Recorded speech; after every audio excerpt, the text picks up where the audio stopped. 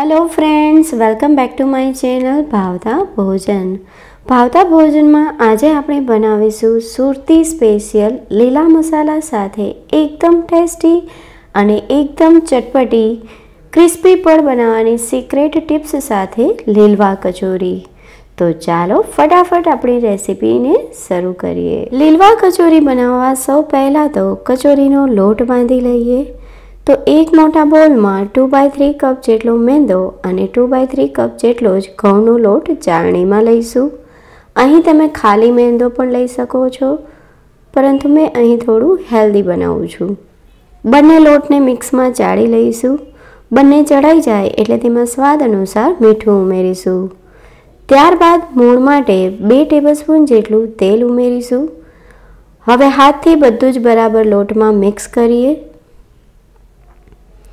લોટમાં evenly mix કરવા મસળતા જઈશું અને બરાબર મિક્સ કરીશું. અહીં ખાસ ધ્યાન રાખવાનું કે મૂળ બરાબર લોટમાં એક સરખું લાગી જાય. પછી આ રીતે જો મુઠ્ઠિયું પડે તો સમજવાનું કે મૂળ એકદમ બરાબર છે.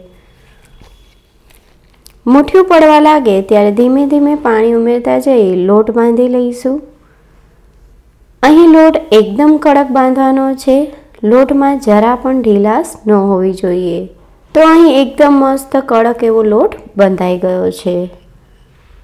હવે ઉપરથી થોડું એવું તેલ ઉમેરી લોટને કૂણવી લઈએ.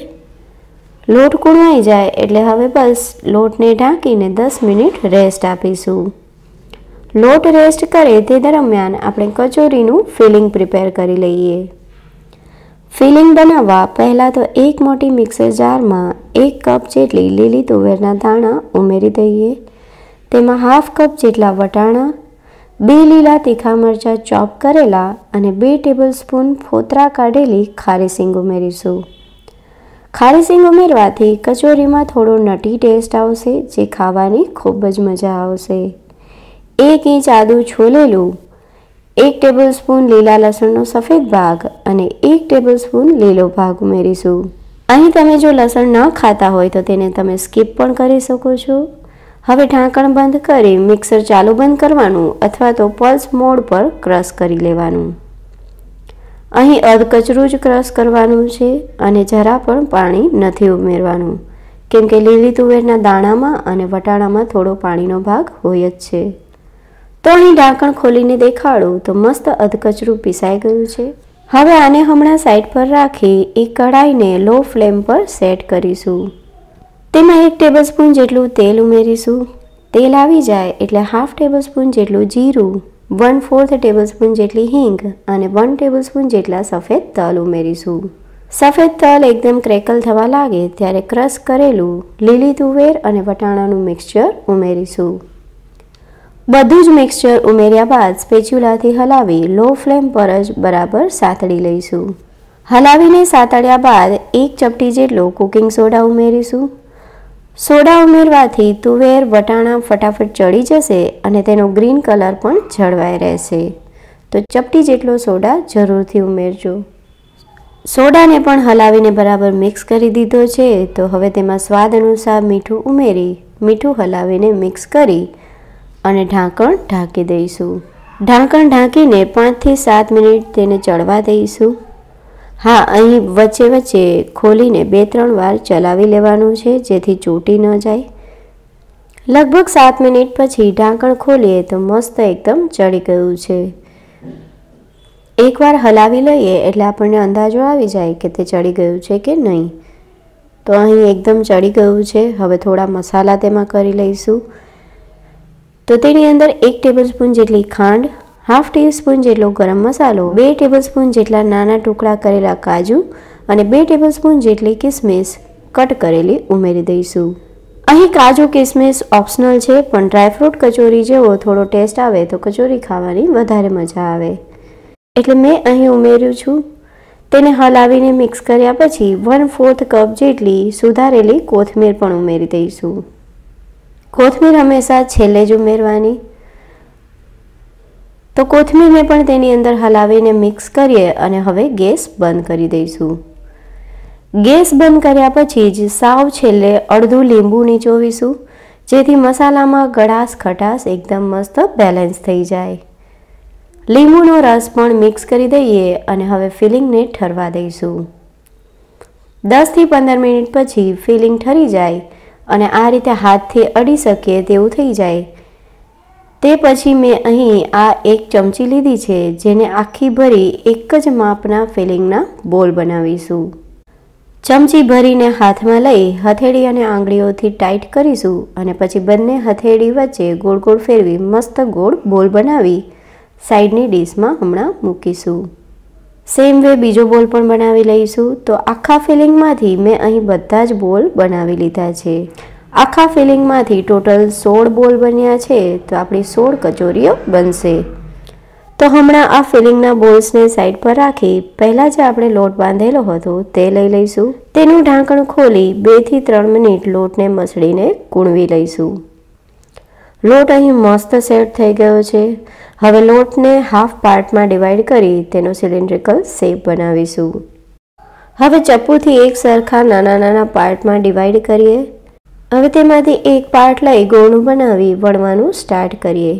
અહીં નાની પૂરી જેટલું વણવાનું છે અને થિકનેસ મીડિયમ રાખવાની છે.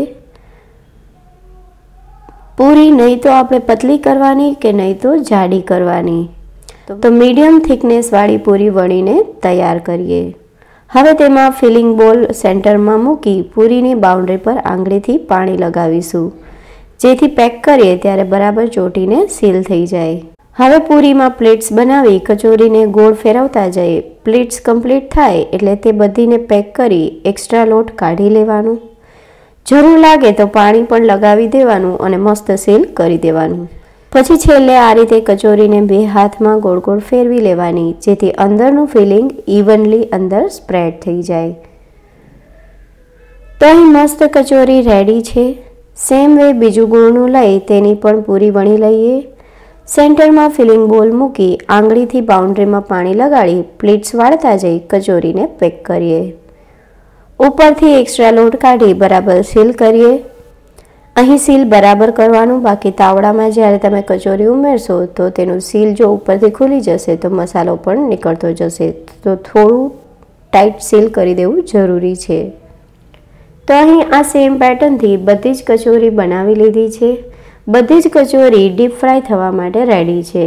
મેં અહીં આજે ડીપ ફ્રાય કરું છું, તેને તમે એર ફ્રાયરમાં ફ્રાય પણ કરી શકો છો. હવે લોયામાં તેલ ગરમ થવા મૂક્યું છે, તેમાં નાનો લોટનો ટુકડો નાખીએ તો ધીમે ધીમે તે ઉપર આવે છે. મતલબ કે અહીં તેલ આપણું મીડિયમ ગરમ થયું છે. તો અહીં તેલ મીડિયમ જ ગરમ કરવાનું છે, વધારે પડતું ગરમ નથી કરવાનું. તો હવે મીડિયમ ટુ લો ફ્લેમ રાખી કચોરીઓ તેલમાં ઉમેરી દઈશું. અહીં જરા પણ હાઈ ફ્લેમ નથી કરવાની. હાઈ ફ્લેમ કરશો તો કચોરી ઉપર નાની નાની ફોલ્લીઓ થશે. પ્લસ બહારથી પળ પાકી જશે પણ અંદરથી કાચું રહેશે. અને હા, બહારનું પળ તેને કારણે એકદમ ક્રિસ્પી પણ નહીં બને. તો ખાસ ધ્યાન રાખવું કે મીડિયમ ટુ લો ફ્લેમ પર જ કચોરીઓ તળવાની છે. કચોરીને ઉમેરીએ ત્યારે થોડી વાર એને બોલાવવાની નથી, પછી બે મિનિટ પછી જારાથી કચોરીઓ ફેરવી દેવાની. સેમ વે આ રીતે દર બે મિનિટ પછી હલાવી, ટોટલ સાતથી આઠ મિનિટ થશે કચોરીને કમ્પ્લીટ તળાતા. તો આઠ મિનિટ પછી કચોરીનું બહારનું લેયર જ્યારે મસ્ત ગોલ્ડન બ્રાઉન થઈ જાય ત્યારે આપણે જારાથી કચોરીઓ કાઢી લઈશું. એ જ રીતે બીજો ખાણ પણ તળી લઈશું. એમાં પણ કચોરીઓ જ્યારે ગોલ્ડન બ્રાઉન થઈ જાય અને એકદમ ક્રિસ્પી થઈ જાય એટલે કાઢી લઈશું. તો અહીં આપણી બધી જ કચોરીઓ તળાઈ ગઈ છે.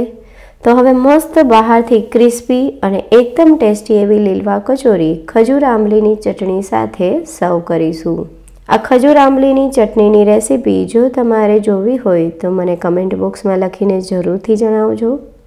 અહીં એક કચોરી તમને તોડીને દેખાડું તો બહારના પળમાં મસ્ત લેયર્સ દેખાય છે, જે એકદમ ક્રિસ્પી અને ખસ્તા બન્યું છે. તો શિયાળાની સિઝનમાં આ તુવેરના દાણા એકદમ ઇઝીલી મળી જાય છે. તો એકવાર આ લીલવા કચોરી તમે જરૂરથી ટ્રાય કરજો અને તમારું ફીડબેક મને કમેન્ટ બોક્સમાં જરૂરથી જણાવજો. જો રેસીપી અને અમારી મહેનત ગમે તો વિડીયોને લાઇક કરજો શેર કરજો અને અમારી ચેનલ ભાવતા ભોજનને સબસ્ક્રાઈબ કરવાનું ના ભૂલતા. ફરી મળતા રહીશું કંઈક આવી જ મસ્ત healthy tasty and yummy recipe સાથે. ત્યાં સુધી બાય